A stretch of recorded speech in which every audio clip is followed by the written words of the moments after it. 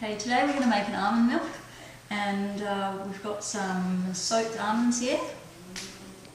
So we soak the almonds to activate the enzymes, so to make it into a living food instead of a dead food. And we have a couple of medjool dates, a vanilla pod, and some filtered water, two cups of filtered water.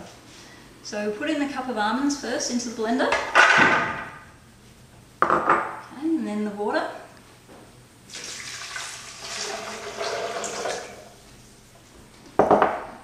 Of dates. I've already pitted the dates.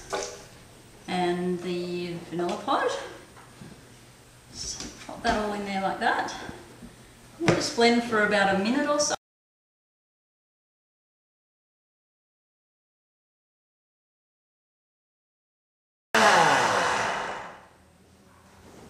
That looks fairly good. And now we um, strain it through a nut milk bag.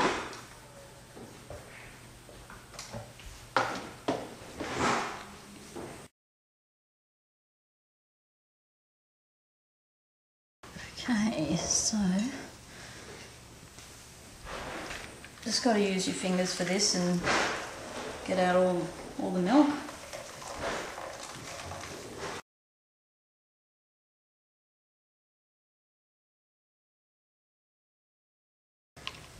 Make something yummy with this almond meal as well, maybe some nice cookies or a nut loaf or something like that.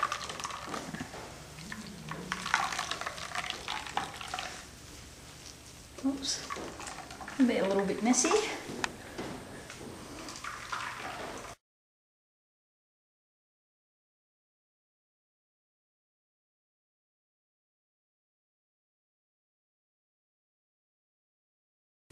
Okay, I think that's just about done. Now we can pour it into a, a nicer container.